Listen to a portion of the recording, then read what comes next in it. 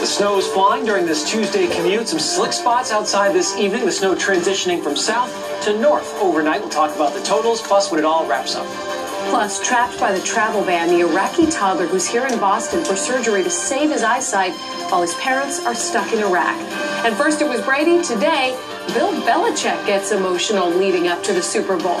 Join us. We'll have live team coverage from Houston on WBZ News at 5.